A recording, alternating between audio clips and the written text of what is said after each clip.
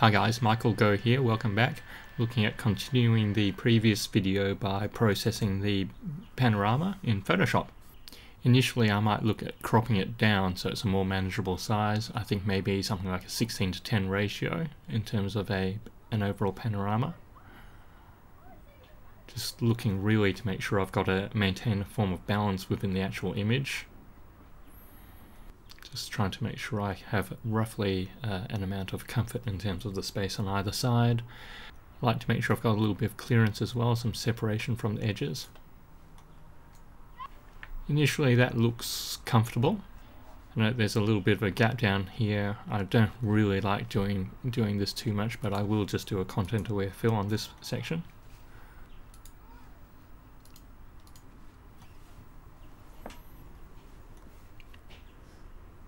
In this case, I feel that the image feels a little bit more weighted towards the left. That's because the larger pinnacles are to the left here. It keeps on going over this side. The moon is over on the left side slightly as well. And also there's nothing over this side that helps fill it out. What I do next is I, I like processing the sky separately to the land. So I've got topaz remasks that I use. I'll bring the window down a little bit so you can see more of the actual window. Now with Topaz Remask, it's quite literally a case of just painting over the, the area for calculation. And then just selecting an area to fill. I'll just compute that providing there's enough contrast between the, the, the two different components, it creates the mask fairly easily. Always go, always go in and do some checking on this.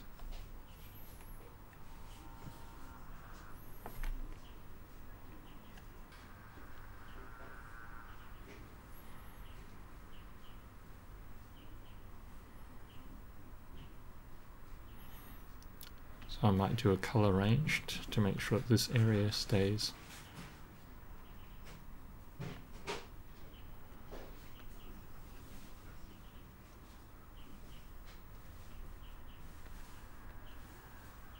Moving back into Photoshop, what I tend to do is I just create two groups. I copy the mask over and all I do is invert it to basically have one group being the ground and one group being the sky. From here I actually just do a couple of quick layers, adjustment layers. So I'm quite happy to just do a curves layer. Something that looks fairly much of where I want the, mil uh, the Milky Way to be like.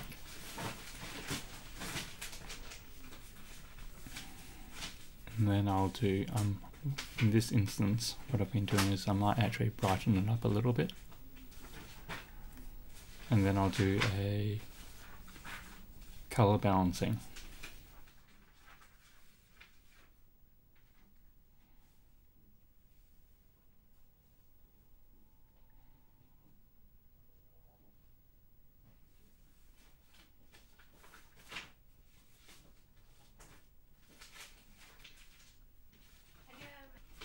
and that's probably uh, about 70% of what I like doing for the sky. And I'll do something for the the foreground as well.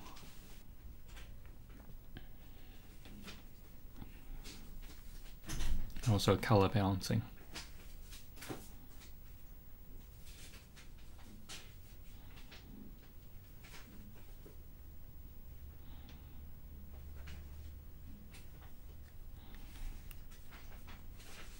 Usually that's majority of what I would do, but I might actually just brighten up the layer a little bit as well because I'll do a little bit more adjustments to it in a moment.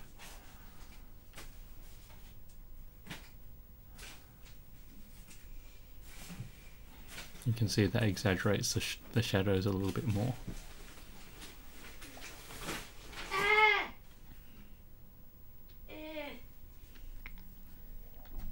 Now if I want to make the Milky Way a little bit punchier, then typically what I'll do is I might just add another curves Just bring it up a little bit.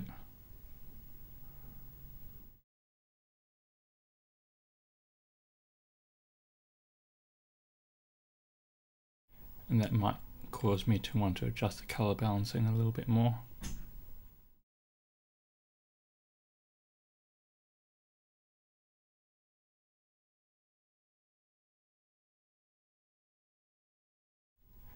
What I was like doing is basically by using, uh, uh, I suppose, just additional adjustment layers. Well, you can actually see there's the effect of the uh, other adjustments there. In terms of the curve becomes a little bit more fractured. Is that it's pretty much non-destructive, so I can basically just change it back and forth and say, well, I'd like a little bit more of this or that.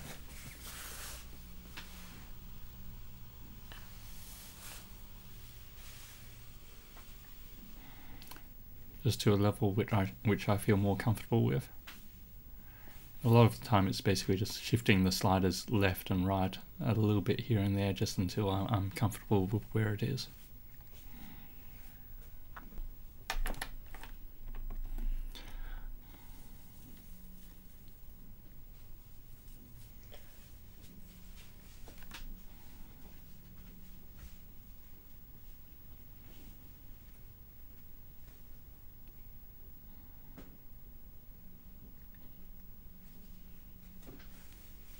That one's probably a little bit more than what I want, but just reduce the uh, effect of it a little bit.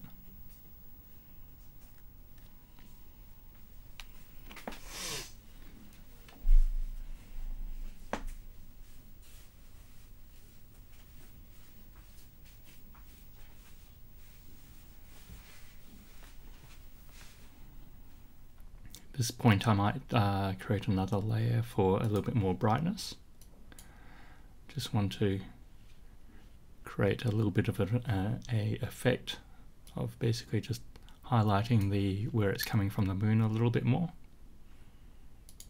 So what I'll just do is I'll just do a, a gradient out of here. I'll just invert that. It's only a little bit of a minor effect, but you can see the difference.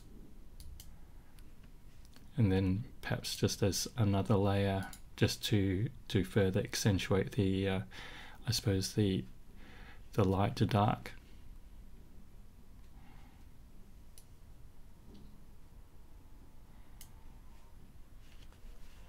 I'll just do a different sort of gradient out here.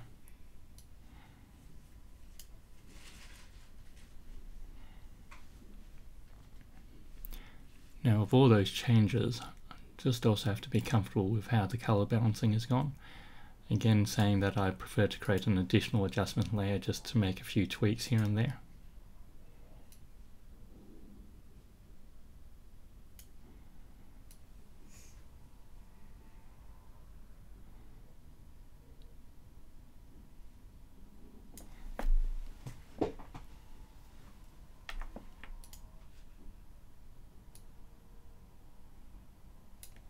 exaggerate the darkness a little bit more that way.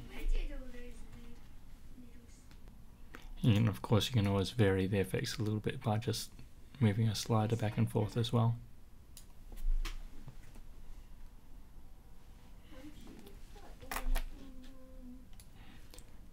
And just wanting to show again the uh, the effects of the, all those changes.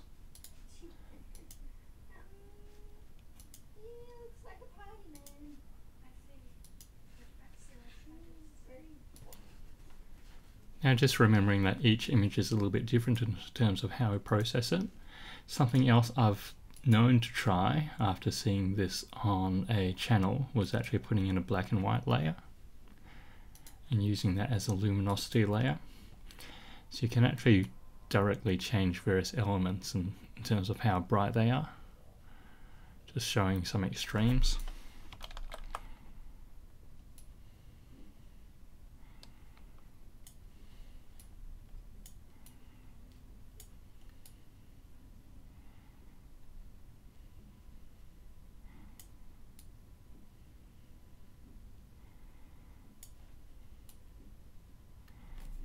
In this instance I don't really feel it's warranted.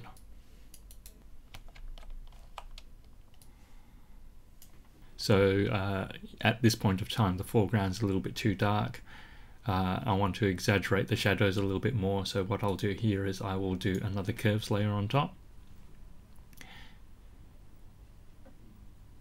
So initially what I'll do is I want to increase the light parts a little bit more and I'll bring down the dark parts.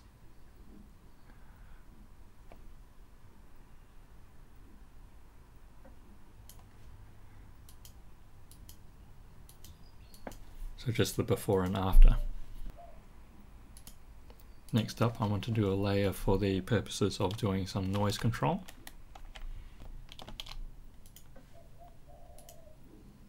Uh, and for this I'll use Topaz Denoise.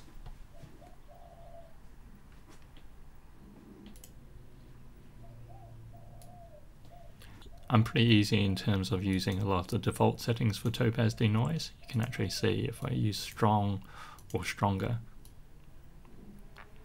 You can still see some of the noise in the background. So it's a before and after. Even though I've gone to stronger, I'll actually be dialing down the opacity a bit. So what I'll do in this case is I'll dial it down to about, say, 70%.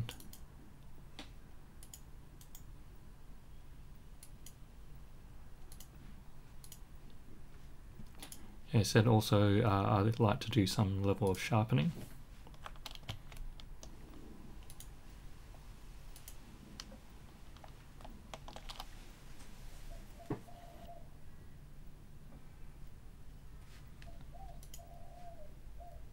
Quite happy to just do a, a high pass filter on this.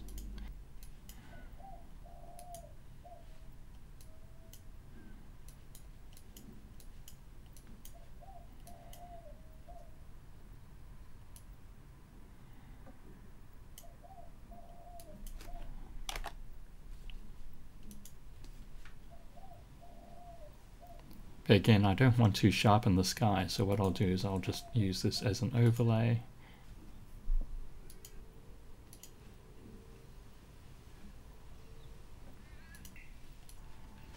Guess I keep thinking to myself, hmm, do I do a little bit more?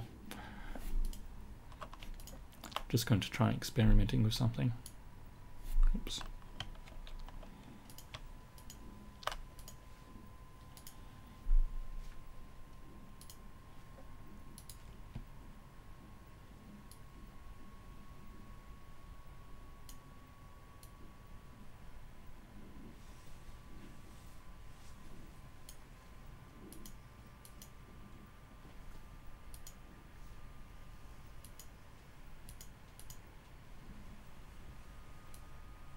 At this point of time, I'm going to import it into Lightroom. I think I might just flatten the image though before I do that. Just opening up the image again and taking it into the develop module and working out if I want to do any other uh, fine adjustments to the image. Don't really want to saturate it or uh, increase the vibrance at this point of time. Using curves actually adds a lot of saturation as well. Don't want to change the color temperature any any amount.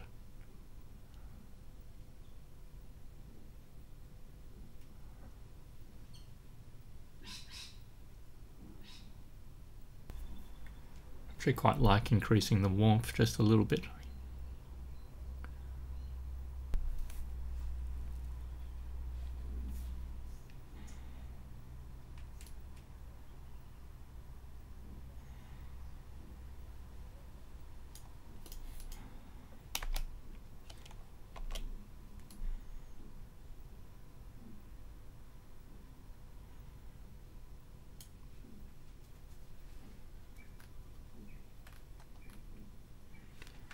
This point of time, do I want to crop it anymore?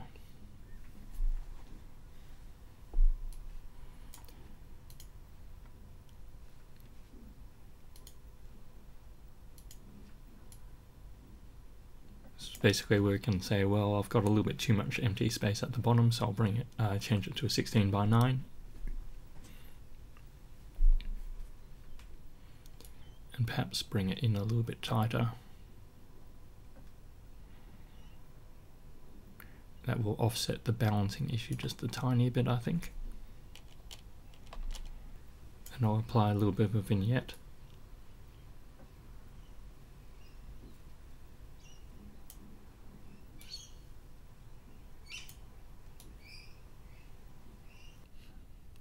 Well, that's pretty much what I do for the majority of the post-processing of the image.